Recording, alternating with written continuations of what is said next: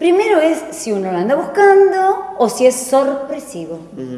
El sorpresivo tarda un poco más en, en, asimilarse. Hay unas descargas hormonales tremendas, hay mucha ansiedad y ¿con qué te descargas? ¿Con qué te parece? Con la comida. La comida. Yo le digo a las pacientes, mira, son nueve meses, ocho meses y medio, ocho, que te cuidas y no rompes tu metabolismo, el metabolismo que tuviste toda la vida tuyo. Lo rompen. Puede, digo, puede ser lo rompen, lo rompen, es, es, algo tremendo, sí. ¿Puede ser un antes y un después el tema del embarazo para la mujer, el tema de si no, si no, se cuida? Es un antes y un después. Es muy, muy diferente. Es reponerse de un embarazo. Aparte, cuando uno empieza a tener hijos, empieza a tener hijos. O sea, tiene uno, por ahí tiene más y, y sigue teniendo.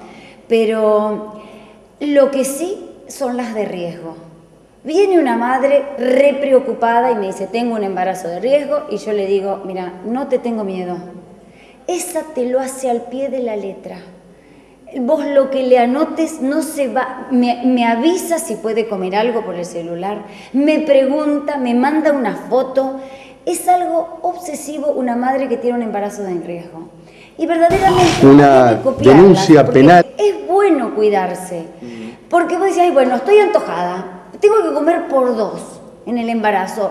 La verdad que no, porque la que se queda con los kilos... Es la mamá. Es la mamá.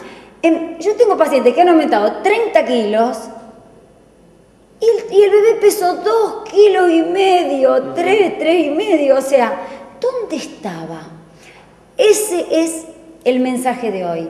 Comer lo que se necesita comer en un embarazo, si no te lo quedas vos como mujer, tras de que encima tenés que pasar el embarazo, que es algo hermosísimo, que la verdad que eh, yo me sentía una reina embarazada, pero una reina pretenciosa con, pretensiones y todo, estaba insoportable, porque aparte las hormonas se me cambiaron, en el, no, no era como soy, pero hermoso, es algo hermoso. En un embarazo y en esto de la, de la alimentación, ¿qué es lo que la mujer no debe hacer?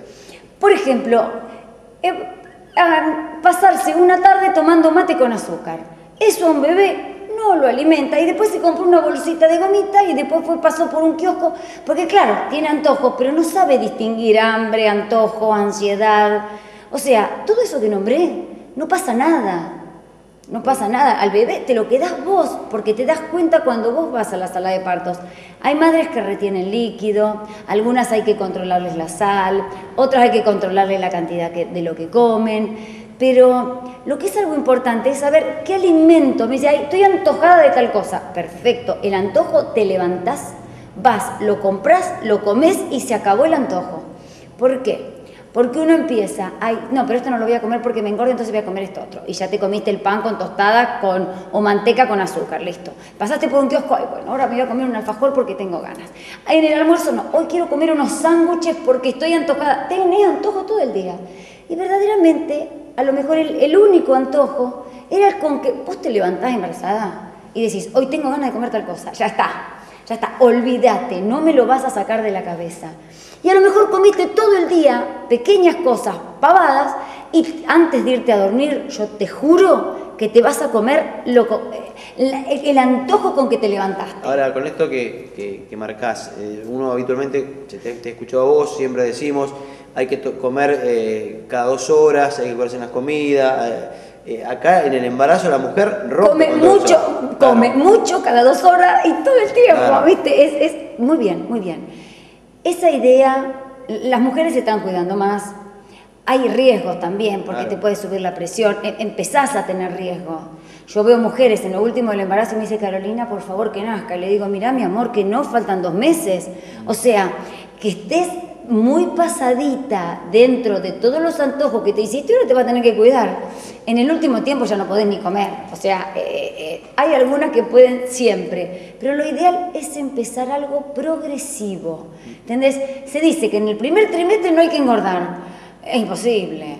Eh, ni yo lo hice. El embarazo es engorde, porque hay que alimentar a un bebé, pero no un engorde en demasía.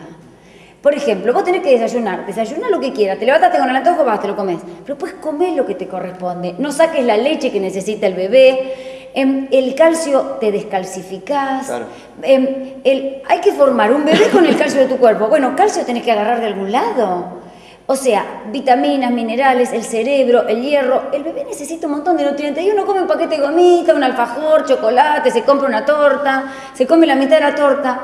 Esa torta se la quedan, no pasa al bebé. Y el bebé por ahí lo único que le pasa es el azúcar y aumenta la insulina. Eh, la última, eh, mamá por primera vez, ya mamá, eh, tuvo el embarazo que engordó mucho y creció mucho en el Ay, me encanta esa pregunta, me encanta, quería decir eso. Porque vos recién, hay mamás me decías que han subido hasta 30 kilos. Bueno, la mamá tuvo familia, es mamá por primera vez, esa mujer quedó con algunos kilos de más.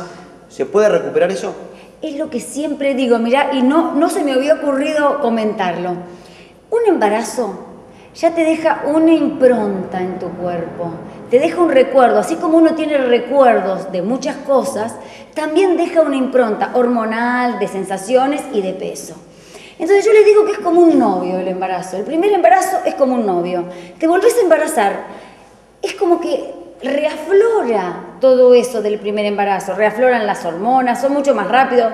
Muchos te dicen, ay, engordo más que el primero. Le digo, mira, si engordaste en el primero 20, la probabilidad que en el segundo embarazo engordes 20 es del 100%. ¿Por qué? Porque es como un novio, vos te peleaste, no empezás de cero a conocerte, vos seguís en donde, de donde terminaste.